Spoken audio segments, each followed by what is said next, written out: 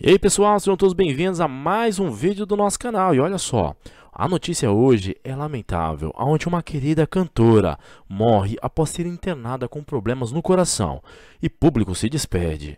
Olha só, antes de mais nada, não se esqueça de se inscrever em nosso canal e ativar as notificações para ficar por dentro de todas as notícias da internet. Eu sou Washington Lisboa e a partir de agora vamos falar aqui sobre essa cantora que nessa semana o meio artístico se despediu com tristeza de mais uma de suas queridas estrelas. Faleceu a cantora brasileira Elizabeth Vilas Boas Bravo, conhecida como Lizzie Bravo. Lizzie se tornou famosa por ter sido a única brasileira a cantar com os Beatles. Além disso, a artista teve grandes colaborações na MPB, trabalhando ao lado de grandes nomes da música popular brasileira, como Zé Ramalho e Milton Nascimento. De acordo com relatos, Lizzie, que também tinha 70 anos de idade, completos em maio, estava passando por dificuldades físicas e sofria com problemas no coração.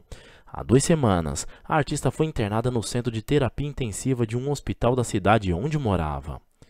Lizzie chegou a apresentar um quadro de melhora depois de passar pela internação na unidade, porém voltou a piorar e não conseguiu resistir às complicações de seu problema de saúde, indo a óbito ainda no hospital. Na internet, muitos internautas lamentaram a morte da famosa. Que ela vá em paz, disse um internauta, muito triste com a notícia. Olha aí, galerinha, mais uma notícia de última hora, não se esqueça de se inscrever e ativar as notificações. Eu vou ficando por aqui, espero vocês no próximo vídeo. Tchau, tchau, pessoal.